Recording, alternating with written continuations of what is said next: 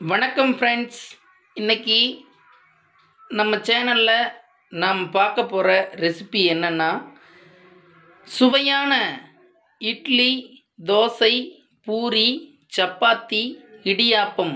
இப்படி சொல்லுகின்ற எல்லாவற்றிற்கும் ஒரு சாதகமான ஒரு சைடிஷ் தான் நம்ம இன்றைக்கி பார்க்க போகிறோம் தக்காளி கிரேவி அடுப்பு பற்ற வச்சுக்கிட்டு வானலை வச்சிடலாம். சூடாகட்டும். பாருங்க எப்படி சூடாகி எப்படி வறுச்சு தேவையான அளவுக்கு எண்ணெய் சேர்த்துக்குவோம். போதும் ஒரு மூன்று தேக்கரண்டி அளவுக்கு நான் ஒரு எண்ணெய் சேர்த்துருக்கேன். எண்ணெய் சூடாகிட்டுருக்கு பாருங்கள் ஒரு எட்டு காஞ்ச மிளகாய் ஒரு ஏழு பல் பூண்டு ஒரு பத்தை இஞ்சி எடுத்து வச்சுருக்கேன். இதை போட்டு நல்லா வதக்கிக்குவோம்.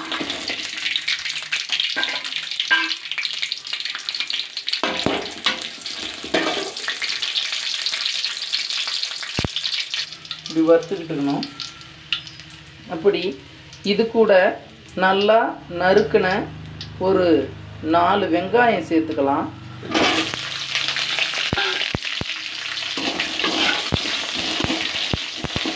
பாருங்கள் எப்படி வறுபடுதுன்னு. இது நல்லா வதக்கின ஒரு நாலு வெங்காயம் சேர்த்து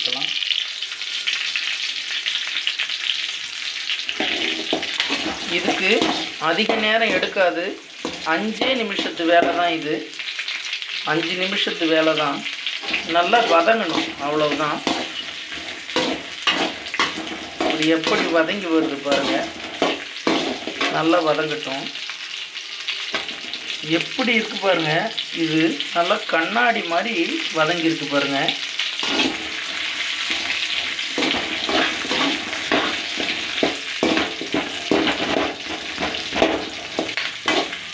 நல்லா வதங்கணும்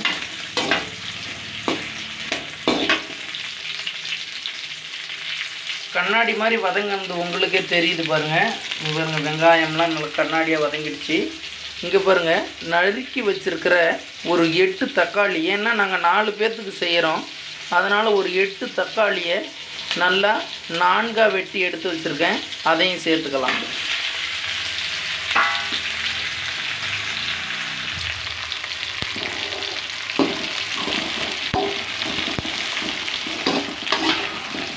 நல்லா வதக்கி விட்டுக்கலாம். நல்லா தக்காளி வரைஞ்சுறதுக்கு தேவையான அளவு உப்பு எடுத்து வச்சுருக்கோம் பாருங்க. இது தேவையான அளவு உப்பை அது சேர்த்துக்கலாம்.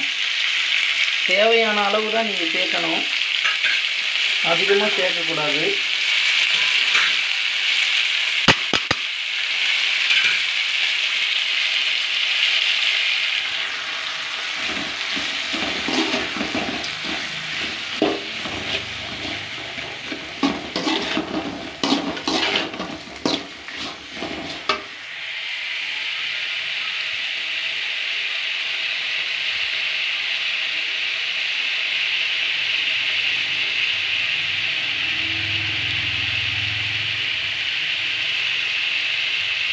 இப்படி வதங்குது பாருங்கள்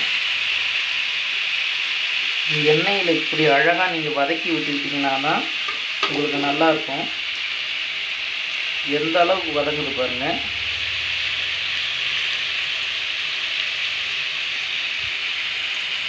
இப்படி நல்லா அழகாக இருக்கணும்.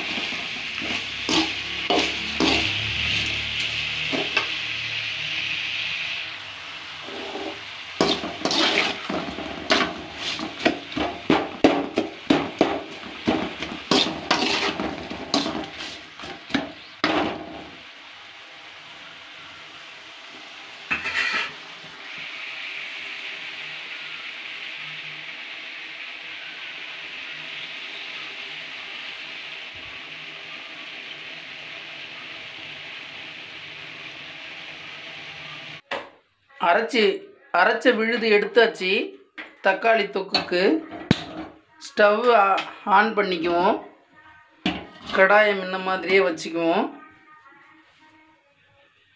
சூடாகி வரட்டும். அரைச்ச விழுது பாருங்க இதான் அரைச்ச விழுது. இதுக்கு தேவையான பொருள் அப்படின்னு பார்த்தா தேவையான பொருள் அப்படின்னா என்ன அப்படின்னு பார்த்தா கடுகு பெருங்காயத்தூள் ரெண்டு டீஸ்பூன் எண்ணெய் நாங்கள் இது நெய்யும் எண்ணெயும் சேர்த்து வச்சுருக்கோம். ஏன்னா அப்போ தான் வாசனை உங்களுக்கு அதிகமாக இருக்கும். நம்ம தோட்டத்தில் பறித்த கருவேப்பிலை எடுத்து வச்சுருக்கேன். பாருங்கள் சூடாயிடுச்சு. இப்போ ரெண்டு ஸ்பூன் எண்ணெய் விட்டுக்குவோம். தேவையான அளவு. ரெண்டு ஸ்பூன் எண்ணெய் விட்டாச்சு. எண்ணெய் சூடாகட்டும். எண்ணெய் சூடாகிடுச்சு கடுகு பெருங்காயத்தூள் போட்டுக்குவோம்.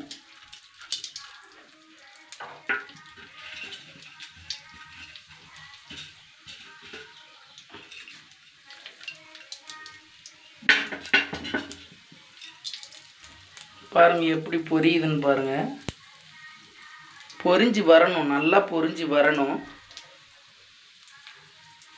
பொரிஞ்சிருச்சு நல்லா பொரிஞ்சு வந்துருச்சு. கரு கரு கருவேப்பிலை சேர்த்துக்கலாம்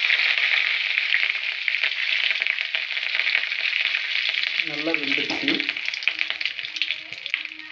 இப்போ இதுக்குள்ளே எடுத்து இதை ஊற்றிக்கலாம்